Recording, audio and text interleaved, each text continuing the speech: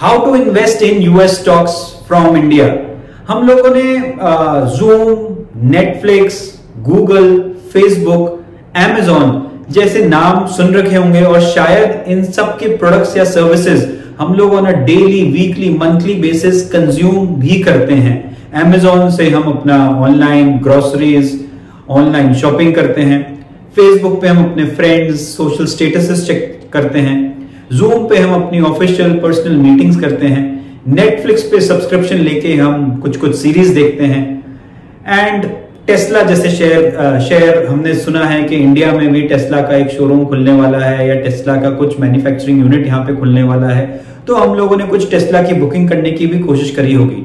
क्या हम इन सब के स्टॉक्स में इन्वेस्ट भी कर सकते हैं तो the answer is yes you can invest in US stocks sitting in India it is very much possible है हम उसी के बारे में चर्चा करने वाले हैं।